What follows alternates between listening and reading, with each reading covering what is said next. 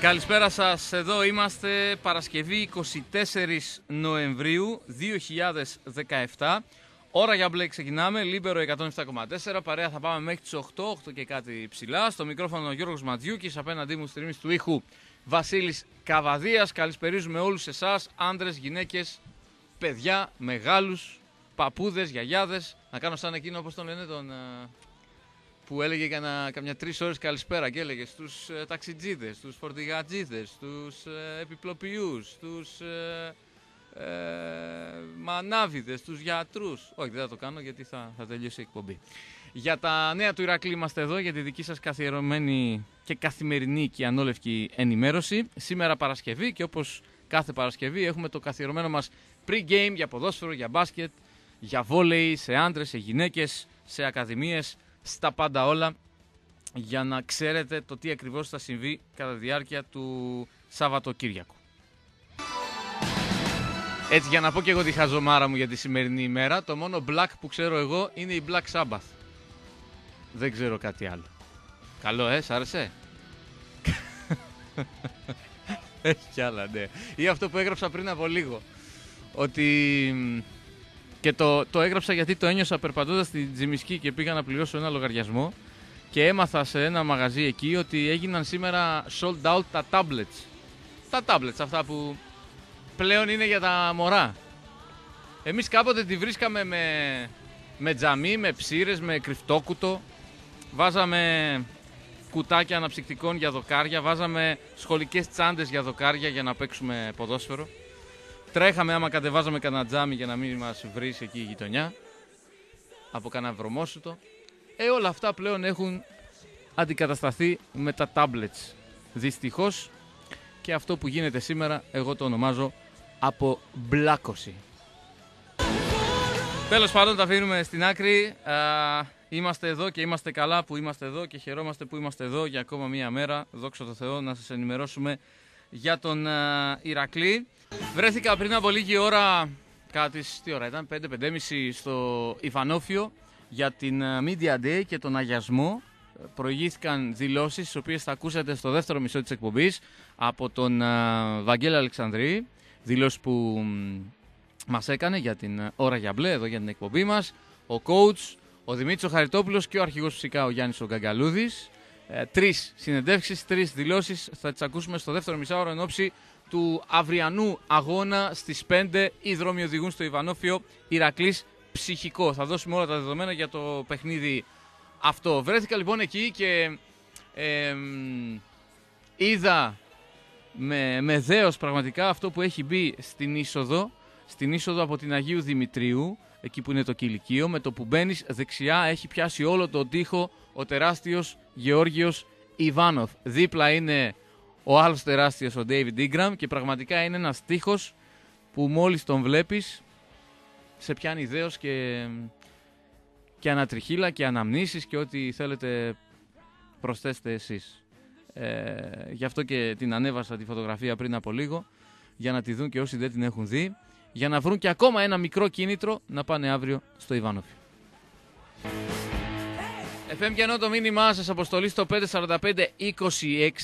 και το mail μας το ανοίγουμε bluelibero.yahoo.gr για τα δικά σας μηνύματα. Θα ξεκινήσουμε φυσικά όπως πάντα, αν και ήδη έχουμε ξεκινήσει η αναφορά με το μπάσκετ, αλλά θα δώσουμε με ημέρα, με ώρα, με όλες τις λεπτομέρειες για να γνωρίζετε πού θα πάτε, τι θα παρακολουθήσετε μέσα στο Σαββατοκύριακο.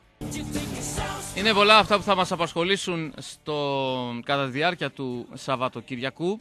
Εντάξει, φυσικά το, το ενδιαφέρον όπως τις περισσότερες φορές έχει το ποδόσφαιρο με ένα φαινομενικά εύκολο παιχνίδι την Κυριακή στις 3 απέναντι στον τελευταίο Καμπανιακό, στο Καφτανζόγλιο, αλλά προέχουν οι αυριανές μάχες σε μπάσκετ και βόλεϊ. Στο μπάσκετ Ηρακλής Ψυχικός στις 5 παραλαμβάνουμε στο Ιβανόφιο αύριο.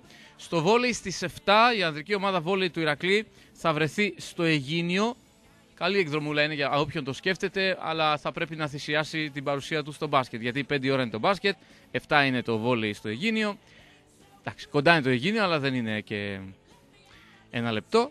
Ε, οπότε, εκτός κι αν κάποιος φύγει 7 παρά από το μπάσκετ, αν πηγαίνει καλά το μάτς ή αν είναι στα τελειώματα, και πάει στο, στα τελειώματα του πρώτου σετ ή στις αρχές του δεύτερου σετ στο, στο Αιγίνη. Όποιος θέλει τα προλαβαίνει όλα. Στις 7 λοιπόν ένα πάρα πάρα πολύ κρίσιμο παιχνίδι, νίκη Αιγινίου Ηρακλής. Ο Ηρακλής που ε, θέλει όπως και δίποτε να κερδίσει και θέλει να, να ξεπεράσει τον κακό του εαυτό στα εκτός έδρας μάτς. Γιατί στην πρεμιέρα έχει ήττα στη Χαλκίδα με 3-0 σετ.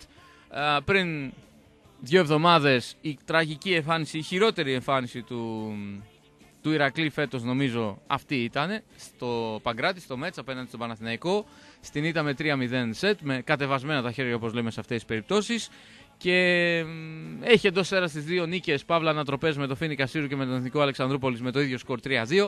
Ήρθε η ώρα νομίζω να κάνει την πρώτη του νίκη α, σε εκτός παιχνίδι.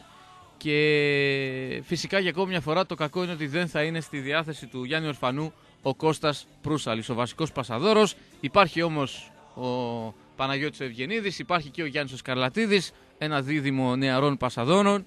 Ε, με τον Ευγενίδη να είναι πολύ μεγάλη έκπληξη, αν θυμάστε, το περασμένο Σάββατο με το παιχνίδι απέναντι στον Εθνικό Αλεξανδρούπολης. Μακάρι τα παλικάρια να το καταφέρουν και αύριο.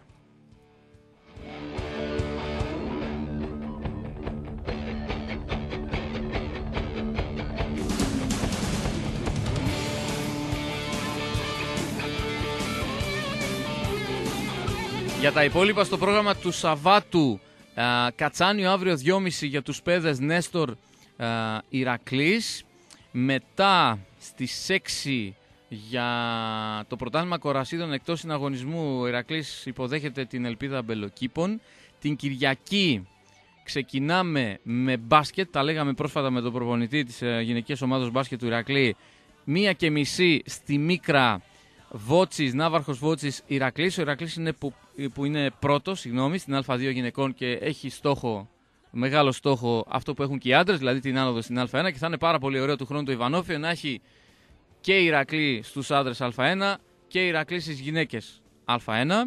Α, που είχαμε μείνει, ναι, στο μια μισή ώρα στο παιχνίδι μπάσκετ. Στις 3 φυσικά στο Καφτατζόγλιο ο Ηρακλής θα υποδεχθεί τον Καμπανιακό. Στις γυναίκες στο βόλεϊ στις 6 στο Ρήσιο η αναγέννηση Νέου Ρησίου θα υποδεχθεί τον Ηρακλή για τη Β' Εθνική στο βόλεϊ γυναικών. Μετά έχει παιχνίδια και τη Δευτέρα και την Τρίτη. Οι Νεάνιδες παίζουν με τον κεραυνό Αγίου Παύλου στο Κατσάνιο στις 9.30 και την Τρίτη υπάρχει το εφηβικό μάτς στο βόλεϊ πάντα στο Κατσάνιο 9.30 Ηρακλής Άρης. Έτσι σας έδωσα μια εικόνα από άντρες, γυναίκες, από ακαδημίες, από ποδόσφαιρο, μπάσκετ, βόλεϊ. Για όλα αυτά υπάρχει και η σχετική ανάρτηση από την αυτόνομη θύρα 10 για την πάρτι σου Ηρακλάρα. Σάββατο 25 του μηνός 5 Ηρακλής ψυχικό, Κυριακή 26 του μηνός 3 Ηρακλής καμπανιακός.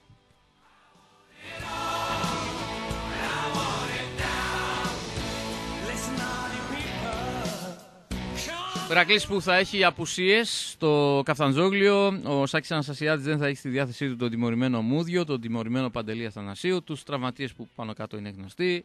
Ε, Καλυβοκάς, Παναγετούδη κτλ. Τα παιδιά γρήγορα να επανέλθουν, σιδερένοι να είναι. Ε, ο Ηρακλής που θα υποδεχθεί τον τελευταίο Καμπανιακό. Ο Καμπανιακός που μέχρι στιγμής έχει ένα μόλις βαθμό, μια ισοπαλία δηλαδή και 8 ήττε. Ο Ηρακλής που έχει ένα παιχνίδι λιγότερο σε σχέση με αρκετές ομάδες που ακόμα δεν έχουν κάνει το ρεπό τους. Έχει έξι νίκες, δύο σοπαλίες και μία ήττα αυτή στην πρεμιέρα στην Καρίτσα, τότε που πέσανε οι πιτσιρικάδες. Ο Ηρακλής που είναι δεύτερος με 20 βαθμούς μαζί με τον Αλμοπό Αριδέας. Ο Άρης Παλαιοχωρίου έχει 22. Οι δυο τους παίζουν παρέα και ένα είναι σίγουρο ότι δεν θα κερδίσουν και οι δύο. Οπότε εδώ θα υπάρξουν απώλειες. Άρης Παλαιοχωρίου, Αλμοπός Αριδέας. Μια ισοπαλία καλή δεν είναι εδώ. Νομίζω καλή είναι μια ισοπαλία εδώ. Ο Ηρακλής να κερδίσει τον Καμπανιακό και βέβαια το ζητούμενο δεν είναι μόνο να κερδίσει τον τελευταίο Καμπανιακό, είναι να μπορέσει να κάνει και ένα rotation, να μπορέσει να ξεκουράσει παίχτε ήδη δύο είναι τιμωρημένοι. Να ξεκουραστούν και κάποια άλλα παιδιά, να μπουν οι βασικοί για παράδειγμα στο πρώτο ημίχρονο, να κάνουν, λέω εγώ τώρα με το φτωχό μου το μυαλό, ένα 2-0 και μετά ας βγούνε. Δεν μπορούν να βγουν όλοι. Τέσσερις αλλαγές υπάρχουν. Καλό είναι αυτό στη ΓΑΜ Εθνική, στην τρίτη εθνική κατηγορία, ότι υπάρχουν τέσσερις αλλαγές και θα μπορέσει να βγάλει τέσσερις βασικούς που έχουν συνεχόμενα χιλιόμετρα πάνω τους, συνεχόμενα παιχνίδια πάνω τους για να μπορέσουν να ξεκουραστούν, να πάρουν τις ανάσες τους για να ετοιμαστούν για την επόμενη εκτός έδρας δύσκολη αναμέτρηση που είναι την Κυριακή στο Λαγκαδά. Το εκτός έδρας βέβαια το βάλα για να το βάλω με τόσο κόσμο του Ηρακλή που θα πάει στον κοντινό μας Λαγκαδά. Ε, οπότε το παίρνω πίσω. Λοιπόν, και ο Άρης Παλαιοχωρίου και ο Άλμο Αριδέας είναι δύο ομάδες που δεν έχουν κάνει το ρεπό τους. Που σημαίνει αυτό ότι την Κυριακή είναι πολύ πιθανό αρχικά να δούμε τον Ηρακλή στην κορυφή γιατί μπορεί να φέρουν ισοπαλία και ο Ηρακλής να κερδίσει. Και στη συνέχεια θα τον δούμε τον Ηρακλή σίγουρα στην κορυφή γιατί θα έρθει η στιγμή που θα κάνουν αυτές οι δύο ομάδες το ρεπό τους. Στα υπόλοιπα παιχνίδια, Εδεσαϊκός Καρδία και Ελκυσιακός ΑΕΚΑ Ρίτσας Λαγκαδάς Νάουσα Φίλιππος Αλεξάνδριας Μακεδονικός, Πιερικός, Μέγας Αλέξανδρος Τρικάλων η Μαθίας. Αυτό είναι το πρόγραμμα για την ε, αγωνιστική της Κυριακής.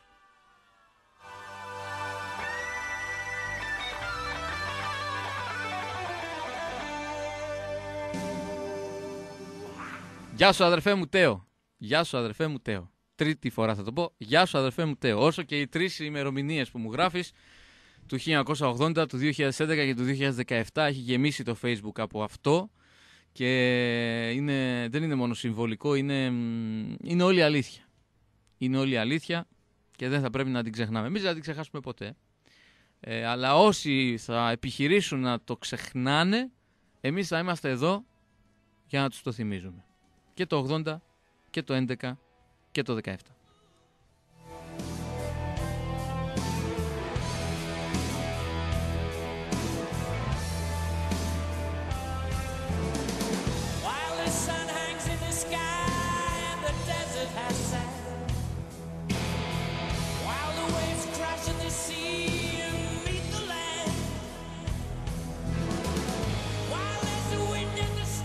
FM για το μήνυμά σας, αποστολή στο 54526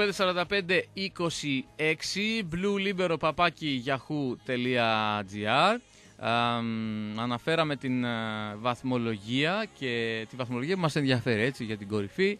Αναφέραμε και το πρόγραμμα της αγωνιστικής να έχουμε έτσι μια εικόνα και να έχετε μια εικόνα για το τι ακριβώς θα συμβεί την uh, Κυριακή. Τώρα, ο Σάκης Ανσασιάδης θα κληθεί να βρει ποδοσφαιριστή που θα αντικαταστήσει τον Παντελή Αθανασίου για να παίξει δίπλα στον αδερφό του τον Αντώνη Αθανασίου. Το κακό είναι ότι λείπει και ο Μούδιος που παίζει σε αυτή τη θέση. Είναι τραυματίας και ο Παναγιωτούδης. Ο Στεφανής προέρχεται από τραυματισμό που τον έβαζε εκεί και είναι δύσκολο. Ε, θα βρει την, τη λύση ο, ο προπονητής του Ηρακλή. Δεν αποκλείεται να δούμε και τον Κουτσίδη να, να είναι βασικός που τον είδαμε στην αποστολή στο παιχνίδι της ε, προηγούμενης Κυριακής στην ε, Νάουσα. Και έτσι όπως είναι τα πράγματα, θυμίζουμε μετά τη νέα γκάφα της ΕΠΟ, γιατί οι άνθρωποι τελειωμό δεν έχουν. Πώς λέμε Ηρακλή, το μεγαλείο σου τελειωμό δεν έχει. ΕΠΟ, η γκάφα σου τελειωμό δεν έχει. Έτσι να, να σατηρήσουμε και λίγο. Πέρα το ότι πριν από μέρες όρισαν δύο παιχνίδια στο ίδιο γήπεδο την ίδια μέρα και ώρα, ε, δεν είπ, είπα να το συνεχίσουν αυτό. Σου λέει μην να διασκεδάσουμε τον κόσμο μια φορά μόνο, ας το κάνουμε και δύο και τρεις και πέντε και δέκα. Πάλι καλά που, δι, που διόρθωσαν και τη βαθμολογία και έχουν σωστά πλέον τους βαθμούς στον Ηρακλή. Εδώ και δύο εβδομάδες που ουρλιάζαμε εδώ στην εκπομπή. Τέλος πάντων, το προσπερνάμε και αυτό. Και βάλανε το, το παιχνίδι του Ηρακλή μια μέρα μετά. Ορίσαν δηλαδή το Αιγυνιακό Σπάοκ που κάναν την κάφα του αιώνα πάλι ε, γιατί είχαν ορίσει προπολού το παιχνίδι του Ηρακλή με τον Άρη Παλαιοχωρίου και σου λέει εντάξει θα βάλουμε το Ηρακλή Άρη Παλαιοχωρίου μια μέρα μετά μωρέ, δεν πειράζει. Και δεν ξέραν οι ίδιοι ότι υπάρχει κανονισμός ποδοσφαίρου που θα έπρεπε πάνω απ' όλα να ξέρουν αυτοί ότι δεν μπορεί να γίνει μέσα σε 24 ώρες παιχνίδι, δύο παιχνίδια στο ίδιο γήπεδο. Στάδιο στην προκειμένη περίπτωση γιατί το Καφτατζόγλιο είναι στάδιο, έχει και ταρτάν. Και το βάλανε 5η 30 του μηνός. Χθεσινή γκάφα αυτή, την διορθώνουν ξανά και μάλλον το μάτς πάει για 3 Ιανουαρίου. 3 Ιανουαρίου, όπου δεν αποκλείεται ο Ηρακλής να έχει και μεταγραφικά πρόσωπα, για παράδειγμα ο Αμπάρης που θα έχει το δελτίο του με το καλό, καθώς δεν μπορούσε να το αποκτήσει όλο αυτό το χρονικό διάστημα για τη γνωστή ε, περίπτωσή του που ήρθε από την Κύπρο κτλ. κτλ. Ε, έχουμε ακόμα. Και όπως τα λέγαμε χθες με τον φίλο μου τον ε, Χαρίλαο, ε, θα είναι ένα περίπου 20 ημέρο που η ομάδα θα ξεκουραστεί πλήρως γιατί θα είναι και οι γιορτές, Χριστούγεννα, Πρωτοχρονιά κτλ.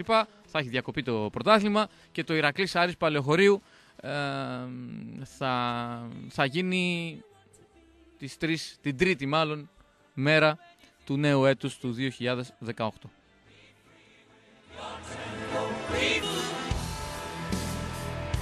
Δεν χρειάζεται σε καμία περίπτωση καμία υποτίμηση του αντιπάλου. Ε, έλα μωρέ δεν βαριέσαι, θα λήξει 8-0. Έλα μωρέ δεν βαριέσαι, τι να πάω να κάνω ε, Κυριακή μεσημέρι τώρα ποιος τραβιέται στο καφτατζόγλιο. Εγώ θα το ξαναπώ. Και το έχω πει και το έχω γράψει. Σε άλλους αρέσει, σε άλλους δεν αρέσει. Τι να κάνουμε. Όποιος δεν έρχεται τις Κυριακές στο Καφτανζόγλιο και ξέρετε είναι πάρα πολύ ωραίο το συνέστημα το να βλέπεις τον Ηρακλή Κυριακή 3 κάθε εβδομάδα. Το να μην περιμένεις θα σε βάλουνε Παρασκευή, θα σε βάλουνε Δευτέρα, θα σε βάλουν Σάββατο πρωί. Πότε θα σε βάλουνε; Αυτό το σπαστικό που γινόταν στη Super League. Κάθε Τετάρτη να μάθουμε πού θα πάμε. Και συνήθως θυμάστε κάτι Παρασκευές, κάτι Δευτέρες, εκεί τον στριμώχνα τον Ηρακλή. Τώρα όμως, άκρος ποδοσφαιρικό. Κυριακή 3 Γιάννη μου. Κυριακή 3, τελειώσαμε. Μέσα, έξω, Κυριακή 3. Δεν πάνε να λέτε. Και ξέρετε πόσο όμορφο συνέστημα εμάς τους 30 φεύγα ή τους 40 φεύγα ή τους 50 φεύγα πόσο όμορφο το συνέστημα αυτό το Κυριακή 3. Γιατί έτσι μάθαμε να βλέπουμε μπάλα. Κυριακή 3. Και σας το λέω για ακόμη μια φορά ότι εσείς που δεν έρχεστε, εσείς που το Κυριακή 3 δεν το περνάτε στο καφταζόγλιο ή στα εκτός έδρας παιχνίδια, δηλαδή και εκεί υπάρχουν γούστα πολλά, όχι μόνο εντό έδρας. Ειδικά στα εκτός είναι, μπορώ να πω ότι είναι και καλύτερα τα γούστα. Από όλες τις απόψεις, με την εκδρομούλα σου, με την ταβερνούλα σου, με τη ματσάρα σου, με την μπάλα σου, με την νίκη, με, με, με, με, με, με, με το σύνθημά σου. Εσείς χάνετε που δεν έρχεστε. Κάποια στιγμή θα το καταλάβετε. Εύχομαι να μην είναι αργά. Αλλά κάποια στιγμή θα καταλάβετε το ότι χάνετε που προτιμάτε να κάνετε κάτι άλλο και δεν κάνετε αυτό. Και πέρα από αυτό, οι υπόλοιποι που έρχονται ξέρουν πάρα πολύ καλά και μπράβο τους ότι πέρα από τη φωνή τους βοηθάνε συγγνώμη, και με το διαρκείας τους και με το κομμένο εισιτήριο. Και μπράβο σε αυτούς που, με βοηθάνε, που βοηθάνε συγγνώμη, και με τα περισσότερα χρήματα που έχουν στη διάθεσή τους για μια διαφημιστική πινακίδα απέναντι στη 13 ή οπουδήποτε περιμετρικά του, του, του αγωνιστικού χώρου και στους αρκετούς ανώνυμους που βάζουν το χέρι στην τσέπη και καλύπτουν τρυπούλες. Μικρές ή μεγάλες. Τρύπες, μάλλον μικρές ή μεγάλες. Θα το ξαναπώ για ακόμη μια φορά και ας γίνομαι κουραστικός. Όσοι δεν έρθουν την Κυριακή, ισχύει και για τον μπάσκετ αυτό, έτσι, και αύριο. Και αύριο θα υπάρχει ένα πολύ ωραίο πάρτι στο Ιβανόφιο. Αλλά για το ποδόσφαιρο με τους ξενερωμένους, με τους στεναχωρημένους, με τους απελπισμένους, με τους απογοητευμένους, μαζί τους είμαστε. Δεν θα πάψουν να είναι Ηρακλείς, απλά είναι, είναι άλλη πάστα ανθρώπων. Εγώ το πιστεύω όμως ότι ακόμα και για αυτήν την κατηγορία, για αυτές τις κατηγορίες ανθρώπων, κάποια στιγμή θα καταλάβουν και θα συνειδητοποιήσουν, μπορεί να το καταλάβουν στα, στα μπαράζ, μπορεί να το καταλάβουν στο δεύτερο γύρο, μπορεί να το καταλάβουν σε μια-δύο εβδομάδες. Δεν ξέρω. Εύχομαι να το καταλάβουν όσο πιο γρήγορα γίνεται. Ότι χάνουν που δεν το ζουν όλο αυτό. Ότι από τη στιγμή που αγαπούν παθολογικά τον Ηρακλή, η Κυριακή τους θα φτιάχνεται και μετά θα πηγαίνουν με αυτόματο πιλότο στο γήπεδο.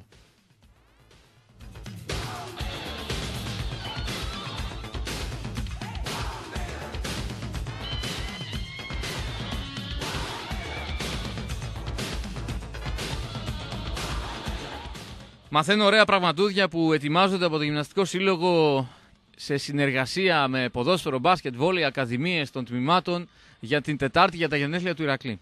29 του μηνός στις 3 είναι το μεγάλο ραντεβού ε, στους χορτατζίδες και μέχρι το απόγευμα και αργά το βράδυ θα υπάρχει ένα ατελείωτο πάρτι, μια ατελείωτη γιορτή. Μαθαίνω πολλά και διάφορα, αλλά δεν τα, δεν τα λέω. Δεν θέλω να τα, να τα κάψω. Ας ανακοινωθούν με το καλό από τον ίδιο το Γυμναστικό Σύλλογο και να μπορέσει να τα χαρεί ο κόσμος σε μια μέρα γιορτής. Άσχετα αν υπάρχει στεναχώρια, ο πόνος, η μελαγχολία, οτιδήποτε άλλο για κάποια τμήματα που δεν είναι εκεί που θα θέλαμε να είναι. Όπου και να είναι όμως, ο Ηρακλής δεν σταματάει. Δεν σταματάει. Και αυτό είναι, πώς λέει ένας φίλος μου, ξεκάθαρο. Ξεκάθαρο. Δεν σταματάει ο Ηρακλής. Και τώρα που έρχονται τα 100, μην κάνω κανένα λάθος, 9, είναι και πολλά, τα 109 χρόνια και θα έρθουν και τα 209 και τα 309. Κάποια στιγμή θα είναι κάποιοι τυχεροί απόγονοί μας που το χίλια χρόνια Ηρακλής θα το ζήσουν. Θα έρθει εκείνη τη στιγμή, δεν θα έρθει, θα έρθει. Πολύ ευλογημένοι άνθρωποι εκείνοι που θα το ζήσουμε. Ζήσουμε είπα, ναι εντάξει θα ήθελα. Που θα το ζήσουν το χίλια χρόνια Ηρακλής και στην κυριολεξία. Ε, ωραία πράγματα ετοιμάζονται, επαναλαμβάνω, για την Τετάρτη από τις 3 το μεσημέρι και μετά εκεί στους Χορτατζίδες, στο Ιβανόφιο, στο Κατσάνιο, στην περιοχή που μυρίζει και είναι 150% Ηρακλής. FM και το μήνυμά σας, αποστολή στο 54526, bluelibero.yahoo.gr Μπίλι μου πάμε σε απαραίτητο διαφημιστικό διάλειμμα και επανερχόμαστε με δηλώσεις Βαγγέλη Αλεξανδρή, Δημήτρη Χαριτόπουλου, Γιάννη Καγκαλούδη που πήραμε πριν από κάνα δύο ώρο όπου βρεθήκαμε στο Ιβανόφιο για την σημερινή Media Day έγινε και αγιασμός γιατί υπάρχουν και κάποια προβληματάκια τραυματισμού και επέλεξαν οι άνθρωποι του Ηρακλή να, να κάνουν αγιασμό σήμερα. Ωραίο λόγο έβγαλε και ο ιερέας που ήταν εκεί για τα παλικάρια του μπάσκετ. Πάμε λοιπόν στο διάλειμμα με τις τρεις δηλώσεις που σας προανέφερα και βόλεϊ και προαναγγελίες που χρωστάμε μέχρι το τέλος της εκπομπής. Γι' αυτό τρελαίνομαι με τον Ηρακλή, γι' αυτό τρελαίνομαι με τον σύλλογο Ηρακλή, γι' αυτό τρελαίνομαι με την καλή την έννοια, η τρέλα πάντα καλή έννοια έχει, ε, το ότι είναι τόσο μεγάλος σύλλογος, τόσο μεγάλος σύλλογος και δεν πάνε να λένε δεν με ενδιαφέρει, πραγματικά δεν με ενδιαφέρει, που, που δεν είναι μόνο ποδόσφαιρο, που δεν είναι μόνο μπάσκετ, που δεν είναι βόλεϊ μόνο. Ε, εμένα με ευχαριστεί προσωπικά και θέλω να πιστεύω ότι υπάρχουν χιλιάδες έξω που τους ευχαριστεί προσωπικά να ακούσουν ότι πριν από 5 λεπτά έγινε πανελλήνιο ρεκόρ στη κολύμβηση από αθλητή του Ηρακλή. Πανελλήνιο ρεκόρ. Στα 100 μέτρα πρόστιο εφήβων ο Γιώργος Ασπουγαλής, μπράβο στο παλικάρι, ε, έκανε πανελλήνιο ρεκόρ. Και αυτή τη στιγμή το πανελλήνιο ρεκόρ το έχει αθλητής του Ηρακλή. Και εγώ τρελαίνομαι με αυτά. Μ' αρέσουν πάρα πολύ να τα καταγράφω και να σας τα λέω και να σας τα προβάλλω. Άσχετα αν δεν πουλάνε, άσχετα αν δεν ακούγονται, άσχετα αν δεν διαφημίζονται, άσχετα αν δεν αρέσουν. Δεν με ενδιαφέρει καθόλου. Με ενδιαφέρει ότι πριν 5 λεπτά αθλητής του Ηρακλή έγραψε ιστορία και έκανε πανελλήνιο ρεκόρ. Στα 100 μέτρα πρόστιο. Αυτό με ενδιαφέρει. Μπράβο στον Παλίκαρο, το συνονόματό μου, τον Γιώργο τον Ασπουγαλή. Πάμε μπάσκετ, ξεκινάμε μπίλι μου με τη Media Day, με, το, με τα ηχητικά αποσπάσματα που πήραμε, βρεθήκαμε εκεί, βρέθηκα εκεί σήμερα στο Ιβανόφιο και μίλησα με Βαγγέλα Αλεξανδρή, με Γιάννη Καγκαλούδη και Δημήτρη Χαριτόπουλο. Να ξεκινήσουμε από τον προπονητή, από τον κύριο Αλεξανδρή, τι μας είπε και επιστρέφουμε σε πολύ λίγο.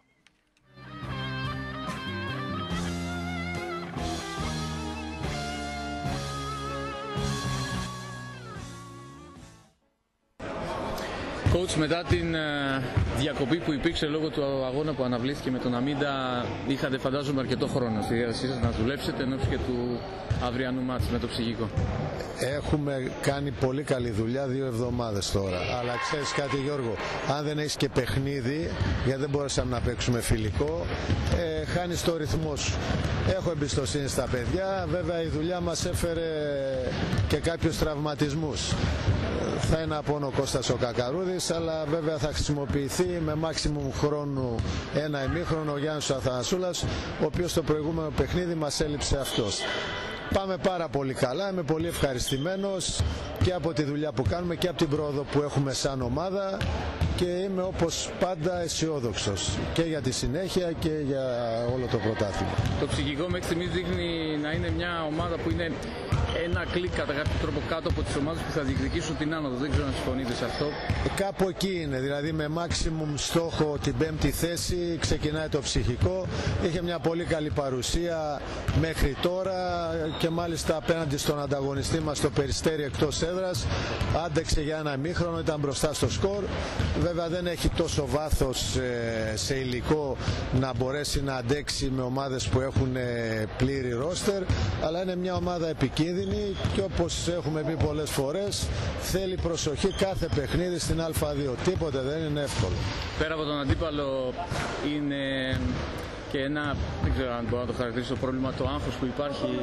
Εμείς, Γιώργο, Γιώργο, δεν έχουμε κανένα άγχος. Ούτε εγώ, ούτε οι παίκτες μου. Ξέρουμε ποιοι είμαστε, ξέρουμε τη δουλειά που κάνουμε, είμαστε αισιόδοξοι. Χρειάζεται όμως υπομονή και χρειάζεται και από τον κόσμο κατανόηση. Γιατί ένα, ένα πρωτάθλημα η Α2, ιδιόρυθμο θα το έλεγα, δεν είναι καθόλου δύσκολο για μένα, ούτε για τους παίκτες, αλλά είναι ιδιόρυθμο. Παίζει σε μυστήριες έδρες, με πολύ κοντές ομάδες, εμείς κάναμε ένα σχεδιασμό να παίξουμε Α1. Αντιμετωπίζουμε κάποια προβλήματα όσον αφορά τις άμυνες γιατί περισσότεροι μας παίζουν κλειστά.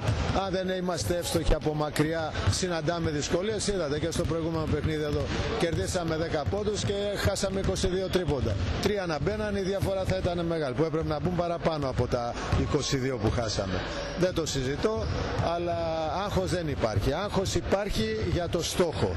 Γιατί φέτος δεν υπάρχει ε, θα πάμε να πέσουμε στη θάλασσα αν δεν τα κατά. Ε, ναι, δεν είναι μονόδρομος. Δεν, ε, δεν θα αντέξουμε ούτε, ούτε εγώ ούτε οι παίχτες πιθανή αποτυχία και ούτε περνάει καν από το μυαλό μας. Καλή επιτυχία. Ευχαριστώ πολύ. Πώς το είπε ο Βαγγέλης Αλεξανδρής, άμα δεν ανεβούμε και φέτος, θα πάμε να πέσουμε στη θάλασσα όλοι μαζί. Είναι μονόδρομος. Είναι μονόδρομος, δεν υπάρχει τίποτα άλλο. Και αυτές ήταν οι δηλώσεις του προπονητή. Συνεχίζουμε, Μπίλι μου, με Γιάννη Γκαγκαλούδη. Ξεκινάμε πάλι τα παιχνίδια. Νομίζω για μας ήταν κακό που σταματήσαμε την προηγούμενη εβδομάδα. Αλλά δουλέψαμε πολύ καλά. Από αυτή την άποψη μας έκανε λίγο καλό γιατί βάλαμε κάποια πράγματα καινούργια στο παιχνίδι. Ε, κοίτα για το ψυχό δεν οποιοδήποτε έρχεται στην έδρα μας για μας είναι το ίδιο. Πρέπει να κερδίζουμε. Είτε λέγεται περιστέρι, είτε λέγεται ψυχικό, είτε λέγεται οτιδήποτε. Έχουμε πει ότι πρέπει να κρατήσουμε όπως πέρσι που ήταν και το μυστικό μας ε, την έδρα μας αλόβητη. Θεωρώ ότι έχουμε όλα τα, τα φόντα να το κάνουμε και από εκεί και πέρα να είμαστε πολύ προσεκτικοί εκτός έδρας. Έχουμε κάνει ήδη μια γκέλα στην Πάτρα. Η ομάδα αυτή, ο στόχος είναι όπως και πέρσι που δεν τα καταφέραμε, φέτος να τα καταφέρουμε και με τη βοήθεια και του κόσμου που έχουμε σε κάθε παιχνίδι ε,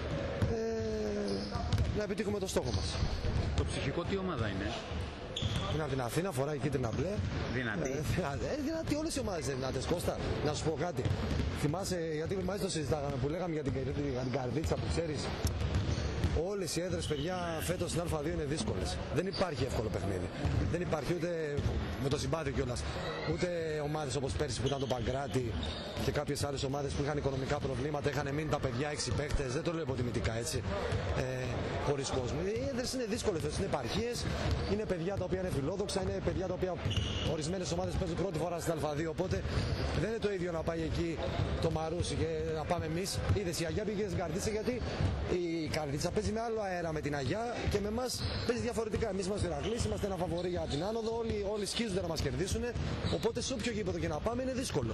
Γι' αυτό πρέπει να είμαστε πολύ προσεκτικοί. Το ψυχικό είναι μια ομάδα που στηρίζεται πάρα πολύ στον Νίκο ε, και στο Τζιόκο. Πρέπει να είμαστε πολύ σοβαροί σε αυτά τα δύο τα μαργαρίσματα. Ευτυχώς δεν τα πάω εκεί. Ε, και να επιβάλλουμε το ρυθμό μας. Νομίζω εδώ πρέπει να τρέχουμε και ξέρεις, έχουμε και ένα πολύ μεγάλο πλεονέκτημα που θεωρώ ότι καμία άλλη ομάδα, άντε το περιστέρι να το για όχι όσο εμείς. Έχουμε τον κόσμο, ο οποίος μας δίνει πολύ μεγάλη όθηση. Οπότε αν επιβάλλουμε το ρυθμό μας, δεν έχουμε να φοβηθούμε τίποτα μέσα στην έδρα μας, το έχω ξαναπεί αυτό. Η έλλειψη αγώνα νιώθεις ότι σας επηρεάζει καθόλου; Κοίτα, φέτος είναι λίγο. Η προπόνηση, η προπόνηση. Εντάξει, είναι, είναι, είναι βαρετό. Είναι αλήθεια. Αυτά τα παιχνίδια, τα παιχνίδια είναι τα, τα ωραία. Απλά δυστυχώς φέτος έτσι πώ είναι το πρωτάθλημα έχουμε πολλά κενά να πάλι ας πούμε θα παίξουμε, μετά θα παίξουμε δύο παιχνίδια στην Αθήνα. Εντάξει, τι να κάνουμε. Ε, Δυστυχώς έτσι είναι. Δεν μπορούμε να κάνουμε κάτι. Είχε ένα παίχτη στην Εθνική Αλβανία, έπρεπε να σταματήσουμε. Δουλέψαμε όπως σου είπα. Και τώρα δεν είναι. Τώρα αυτό θα είναι δικαιολογίες να πούμε τώρα. Να... Τίποτα. Αυτό έτσι είναι η Α2, έτσι είναι το πρόγραμμα. Δεν παίξαμε. Παίζουμε το Σάββατο. Πρέπει να είμαστε σοβαροί όπως σου είπα. Να κάνουμε το 5-1 και μετά να πάμε στο, στον Εθνικό που είναι ένα πάρα πολύ δύσκολο παιχνίδι. Αυτά και από τον αρχηγό τον Γιάννη τον Καγκαλούδη για το αυριανό μάτς με το ψυχικό και ολοκληρώνουμε τις, το αποσπάσματα τα ηχητικά από την σημερινή Media Day όπου η ώρα για μπλε βρέθηκε εκεί και σας φέρνει αυτό το υλικό και το ακούτε με Δημήτρη Χαριτόπουλο.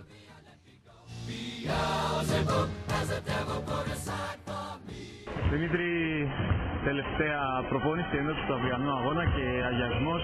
Προετοιμαστήκατε κατάλληλα αυτή την εβδομάδα. Είχατε βέβαια και την ξεκούραση λόγω του παιχνιδιού που αναβλήθηκε με τον Αμίντα για το αυριανό μα στον Δοξηγικό. Ναι, εντάξει, δεν ήταν ακριβώς ξεκούραση. Δουλέψαμε πάρα πολύ 15 μέρες που είχαμε ελεύθερες. Δυστυχώς δεν μπορέσαμε να βρούμε ένα φιλικό να παίξουμε γιατί όλοι οι άλλοι είχαν αγωνιστικές υποχρεώσεις. Από εκεί και πέρα, εντάξει, δουλέψαμε σε κάποιες μας αδυναμίες, δουλεύουμε πάρα πολύ καλά γενικά. Λίγο θέμα είναι ότι αυτή τη στιγμή δεν είμαστε σε τόσο καλή αγωνιστική κατάσταση, δεν παίξαμε παιχνίδι για έναν άλλο λόγο. Και αύριο είναι άλλο ένα σημαντικό παιχνίδι που θέλουμε να κερδίσουμε. Για μας όλα τα παιχνίδια είναι σημαντικά και αντιμετωπίζουμε ακριβώς το ίδιο. Έχουμε μια τελευταία προπόνηση να δείξουμε δύο πράγματα ακόμα και νομίζω πως αύριο θα είμαστε ετοιμότατοι. Πολλοί που γνωρίζουν την κατηγορία και ασχολούνται με αυτήν λένε ότι το ψυχικό είναι μια ομάδα που ακολουθεί τη τριάδα τετράδα που θα διεκδικήσει το... την άνοδο. Συμφωνείς με αυτό, θέλει προσοχή αύριο το μάτι; Ναι, συμφωνώ με αυτό γιατί το ψυχικό έδειξε ότι σε όλα τα μάτια είναι πάρα πολύ ανταγωνιστικό. Μπορεί για 40 λεπτά, αλλά για 20-25 λεπτά είναι πάρα πολύ καλό. Κάτι που σημαίνει ότι πρέπει να παίξεις 40 λεπτά για να το κερδίσεις. Εντάξει, έχουμε το αβαντά στη έδρα μας, είναι καλή ομάδα. Ε, αυτοί που ξέρουν την κατηγορία σίγουρα ξέρουν καλύτερα. Εγώ που δεν την ξέρω, έχω δει ότι όλα τα μάτια είναι επικίνδυνα. Δεν υπάρχει παιχνίδι που μπορείς να καθίσει και να πεις. Όλες αυτές οι ομάδες είναι πολλά χρόνια στο αλφαβείο και ξέρουν τι να κάνουν. Τι πρέπει να κάνει η ομάδα ώστε να μάθει και να κερδίζει χωρίς άγχο, γιατί οι περισσότερες νίκες ήταν αγχωτικά, με μικρή διαφορά. Ναι, εντάξει, κοιτάξτε, εμείς δουλεύουμε πάρα πολύ καλά στην προπόνηση. Δηλαδή δεν μπορούμε να πούμε ότι είναι θέμα προπόνηση. Πραγματικά είμαστε πολύ ευχαριστημένοι όλοι μας και με την ένταση και με τον τρόπο που δουλεύουμε. Από εκεί και πέρα, σίγουρα μια ομάδα για να φτάσει στο πικ της απόδοσής της πρέπει να δημιουργήσει μια χημεία. Όσο περνάει καιρός, πιστεύω αυτό θα γίνεται. Νομίζω ότι είναι ίσως καλύτερο αυτό. Αυτή τη στιγμή είμαστε σε, παίζουμε ένα καλό μπάσκετ, αλλά έχουμε πολλά περιθώρια και όταν θα έρθει η στιγμή που θα φτάσουμε στο πικ θα παίξουμε ακόμα καλύτερα και δεν θα αγχωνόμαστε τόσο πολύ. Από την άλλη δεν είναι κακό να κερδίζουμε τα παιχνίδια με κοντινό σκορ γιατί μαθαίνεις πώς να κερδίζεις. Είναι πολύ σημαντικό σε αυτή την κατηγορία. Θα βρεθούμε πολλές φορές ε, μπροστά σε δύσκολα παιχνίδια. Ο κόσμος θα είναι και πάλι κλειδί για, για το άγχος όταν παρουσιάζεται να βοηθήσει εκεί στο κρίσιμο σημείο. Εντάξει, πάντα είναι. Πάντα είναι. Όταν ειδικά είσαι σε ομάδα που έχει μόνο Έλληνες παίχτες, είναι ίσως και το πιο σημαντικό. Η έδρα μας είναι σίγουρα ένα πολύ μεγάλο κλειδί. Θα φανεί και στα τέρμπι σίγουρα αυτό. Ο κόσμος μας βοηθάει πάρα πολύ. Πόσο μάλλον όταν είσαι και ιστορική ομάδα. Ε, είναι κλειδί για όλη τη χρονιά. Το θέλουμε δίπλα μας, το χρειαζόμαστε και σίγουρα και θα είναι μεγάλο κομμάτι της επιτυχίας φέτος. Ω, και κομματάρα βάλεις τώρα, ταιριάζει στην περίπτωση το Show Must Go On. Ε, πριν ε, κάνω το ταξίδι αστραπή, για αυτό το πολύ ωραίο που σας είπα νωρίτερα, να πω ότι για το μπάσκετ η K20 κέρδισε την ΜΕΝΤ με 66-70. Σήμερα στις 9.30 για το εφηβικό στο μπάσκετ οι έφηβοι του Ηρακλή παίζουν εκτός έδρας με αντίπαλο τον ΠΑΟΚ. Και την ε, Κυριακή 3 και μισή οι Πέδες εκτός έδρας στο ΕΑΚ Νεάπολης απέναντι στην ομάδα των Hoops. Φεύγω σφαίρα, πάω να προλάβω το πανελλήνιο ρεκόρ που έγινε πριν από λίγα λεπτά και καλησπερίζω τον προπονητή, έναν από τους προπονητές των επιτυχιών του κολυβητικού τμήματος του Ηρακλή, τον ε, Μίλτο Χαρκιά, ο οποίος είναι στη γραμμή μας με ένα πανελλήνιο ρεκόρ. Ε, το, το κρατάς εκεί, πόσα λεπτά έχει που έγινε; Χαίρετε. Ε, περίπου, Χαίρετε, χαίρετε. Καλησπέρα Γιώργο. Περίπου Μ' αρέσουν αυτά τα ξαφνικά. Μ' αρέσουν. Μ' αρέσουν ναι, πολύ. Ναι, ναι, ναι, ναι. Έχει 10 λεπτά. Ξαφνικό. Για μας λοιπόν δεν ήταν ξαφνικό. Όχι, τα ξαφνικά εννοώ κατά τη διάρκεια της εκπομπής και πόσο μάλλον τέτοιες επιτυχίες και χαρές. Έτσι, γιατί είναι, είναι live αυτό, δεν είχαμε προγραμματίσει τίποτα. Πριν από λίγο είδα από τον τεράστιο Στέλιο Ναυροζίδη που έχει γίνει και hacker να ανεβάζει φωτογραφίες στο facebook για το πανελλήνιο ρεκόρ του Γιώργου Ασπουγαλή. Και ναι, όταν βλέπω εγώ τέτοια δεν, δεν, δεν, δεν τα αφήνω. Δεν τα αφήνω και Μίλτο Χαλκιά καλησπέρα ξανά. Συγχαρητήρια πολλά για το παλικάρι Καλη... σου. Και Καλησπέρα, για... για το παλικάρι μας, πολύ. έτσι. Ναι. Ναι, λοιπόν, ε, ο Γιώργος είναι δύο μήνες μαζί μας. Είναι ένα παιδί από τις Σέρες. Ναι. Ε, μεγαλωμένος στις Σέρες. Είναι η μεγάλη μεταγραφή του καλοκαιριού αυτή, περίπου Α, του καλοκαιριού. Ακριβώς. Ναι. Είναι αθλητής εθνικής ομάδας. Έχει και τα πανελλήνια ρεκόρ στην 50 πισίνα. Αποφάσισε φέτος να μετακομίσει στη Θεσσαλονίκη. Εμπιστεύτηκε τον ιστορικό και Έτσι. τα χέρια τα δικά μας.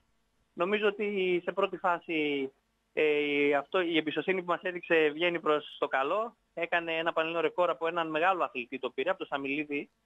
Πόσα Ε, χρόνια κρατούσε αυτό; Κρατούσε καιρό; Αυτός είναι το 93 γεννηθής. Όχι, αν όχι. Το, υποθέσουμε το ότι- πανελλήνιο ρεκόρ Ναι, α, ναι. πόσο καιρό κρατούσε; Αυτό τώρα υπολογίζω. Είναι Α. το 93 γεννηθής. Α- Αν υποθέσουμε ότι είναι 16χρονος και το έκανε, ε, κρατάει από το 2009, αν δεν κάνω λάθος, το πανελλήνιο ρεκόρ αυτό. Και το Οχτώ θέμα είναι χρο- ότι οχτώ δεν- χρονάκια κρατάει. Βέβαια. 8 χρονάκια και το θέμα δεν είναι ότι απλά το κατέβασε, το συνέτριψε γιατί το κατέβασε κατά ένα δευτερόλεπτο και ένα εκατοστό. Είναι τόσο μεγάλη διαφορά το ένα δευτερόλεπτο. Εμένα μου Είναι- ακούγεται είναι- λίγο.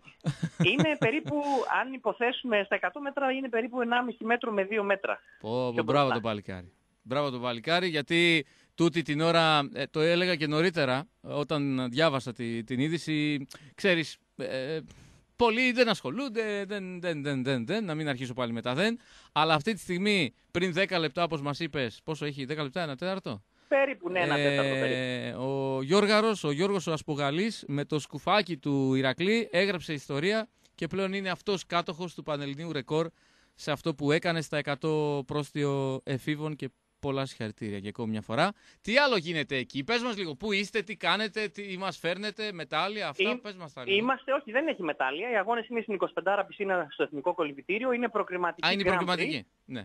Ναι, δεν είναι κάτι ιδιαίτερο σαν αγώνες. Να ναι, σκεφτείς αλλά τα ρεκόρ ότι- είναι ρεκόρ, έτσι. Ακριβώς, τα ρεκόρ είναι ρεκόρ. Να σκεφτείς ότι ο Γιώργος δεν είναι έτοιμος, δεν είναι ξεκούραστος, δεν είναι φορμαρισμένος για αυτούς τους αγώνες. Πού Ο να Γιώργος ήτανε; Έχει, θε- έχει στόχους φέτος ε, μεγαλύτερους. Έχει το Πανευρωπαϊκό Πρωτάθλημα Εφήβων, Μμμ. να πιάσει το όριο και να πάει να διακριθεί εκεί πέρα. Και αν μπορέσει να καταφέρει σαν μικρός, που θα είναι μεγάλο επίτευγμα, να συμμετέχει στους Πανευρωπαϊκούς Ανδρών το καλοκαίρι στη Γλασκόβη. Μπράβο του. Μπράβο του με Ε, το τον καλό. έχω δίπλα μου αν τον θέλεις, να σου πει και αυτός δύο κουβέντες. Τον θέλω, βέβαια, δεν τον θέλω, τον θέλω. Λοιπόν, Τον θέλω. ε, καληνύχτα από μένα. Ένα Καληνύχτα, λεπτό, πάντα ένα λεπτό. τέτοια, πάντα τέτοια. Ναι, Γεια σου Γιώργο, πολλά συγχαρητήρια. Γεια σας, ευχαριστώ. Τώρα θα κάνω μια πολύ ε, κλεισέ ερώτηση. Πώς αισθάνεσαι που έχεις πλέον το πανελλήνιο ρεκόρ; Πολύ χαρούμενος. Το περίμενες; Ε, ναι, εντάξει, την- πριν από δύο εβδομάδες της αίρες το πλησιάσαμε πολύ. Μμμ. Το χάσαμε μόνο για 9 κλάσματα. Οπότε είχαμε πει ότι σε αυτούς τους αγώνες οπωσδήποτε πρέπει να γίνει. Και τώρα του έδωσες και κατάλαβε. Ναι, αυτό. Ε, είσαι δύο μήνες όπως μας είπε ο προπονητής σου στον Ηρακλή και νομίζω ότι ξεκινάς ιδανικά, έτσι. Θες ανάλογα ναι. να, να συνεχίσεις. Ναι. Στο εύχομαι ολόψυχα. Καλή ξεκούραση και να το έχεις να το καμαρώνεις και να το θυμάσαι και εύχομαι να, να το σπάς το ένα μετά το άλλο. Να είσαι Σε καλά. ευχαριστώ πολύ. Εγώ σε ευχαριστώ Ευχαριστώ πολύ. Γιώργο, να είσαι καλά. Μπράβο αγόρι μου, να είσαι καλά. Γεια σας. Εδώ κολλάει το μπράβο αγόρι μου. Ε, στην εκπομπή του Ηρακλή, στην ώρα για μπλε, στο Λίμπερο 107,4 που φιλοξενήσαμε ένα παλικάρι, αθλητή του Ηρακλή, τον Γιώργο τον Ασπουγαλή, που πριν από 15 λεπτά κατέρριψε το πανελλήνιο ρεκόρ στα 100 μέτρα πρόσθιο στην κολύμβηση. Ζωντανές εκπομπές συμβαίνουν αυτά. Τον βγάλαμε κατευθείαν στον αέρα και χαιρόμαστε γι' αυτό. Λοιπόν, κλείνουμε με βόλεϊ. Να διαβάσω εντάχει τη δήλωση του Γιάννη Ορφανού για το αυριανό μάτς στο Αιγίνιο. Είμαστε καλά και συνειδητοποιημένοι πλέον με την απουσία του έμπειρου Προύσαλη. Τα νέα παιδιά Σκαρλατίδης Ευγενίδης τα έχουν πάει καλά και όλη η ομάδα έχει συντονιστεί με το παιχνίδι τους, οπότε θα είμαστε πιο έτοιμοι. Το δεύτερο είναι πως κάποτε θα πρέπει να αρχίσουμε να παίζουμε καλά και εκτός έδρας. Περίμενα περισσότερα στους αγώνες που δώσαμε στη Χαλκίδα και στο Μέτς και ελπίζω να μην επαναλάβουμε τόσο κακές εμφανίσεις. Αυτά λοιπόν από το Γιάννη Ορφανό για το αυριανό ματ στις 7 νίκη Αιγινίου Ηρακλής. τα δώσαμε όλα τα ραντεβού μας για το πού θα πάτε, τι θα κάνετε. Έχετε πάρα πολλές επιλογές για το αγωνιστικό Σαββατοκύριακο. Κλείνουμε, δίνουμε σκυτάλη στο ντουέτο σε Γιάννη Γιαννούλη και Σταύρο Κόλκα στο πρόγραμμα του Λίμπερο 107,4. Με μετάδοση θα τα πούμε ζωντανά με συνδέσεις από το Καφταζόγλιο την Τρίτη, την Τρίτη λέω, άιντε, την Κυριακή στις 3. Εκεί πήγαν από το 3 και μου 'φυγε το τρίτη. Μπίλη μου, Κυριακή 3 στο Καφταζόγλιο Ηρακλής Καμπανιακός. Φυσικά και αύριο κατά τη διάρκεια της ημέρας θα ενημερώνεστε και για μπάσκετ, βόλεϊ, τα πάντα εδώ στο Λίμπερο 107,4. Ευχές για ένα όμορφο βράδυ, για ένα καλό Σαββατοκύριακο με νίκες σε όλα τα τμήματα και αθλήματα του Ηρακλή. Να είστε καλά.